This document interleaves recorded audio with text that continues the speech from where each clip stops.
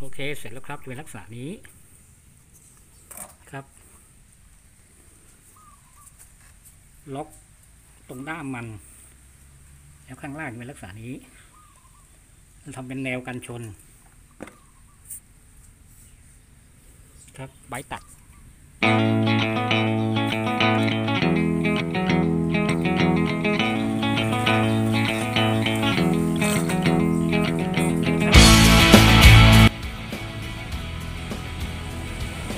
นี้ต้อง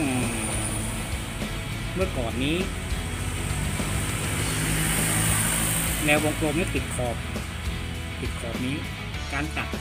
หญ้าไม่ดี เพราะตัวนี้มันจะดันตัดหญ้าออกโดยแก้ใหม่ คือลดวงรอบให้เล็กลง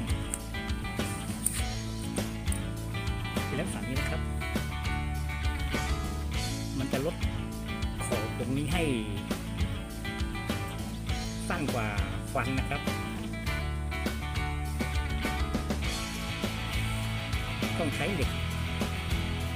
เหล็กเส้นที่ค่อนข้างหนาหน่อยครับ ประมาณสักเท่าบุหรี่นะครับ เท่ากับบุหรี่ครับ วงขอบกันนี้ต้อง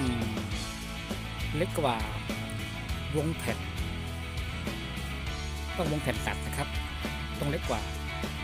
ไม่งั้นเวลาตัดนี้ มันจะไม่สะดวก มันจะผลักหญ้าออก มันจะทำให้การตัดนี้ตัดไม่สมบูรณ์ หรือฟันบิดอาจจะเป็นอันตรายนะครับถ้าเกิดว่าฟันนี้หลุด ฟันนี้หัก เพราะฉะนั้นก็ทำขอบความห่างจาก ประมาณสัก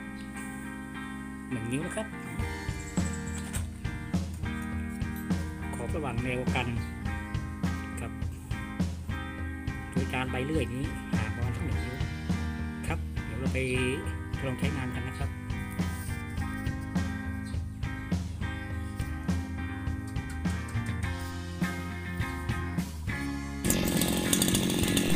มามาลองกันเลย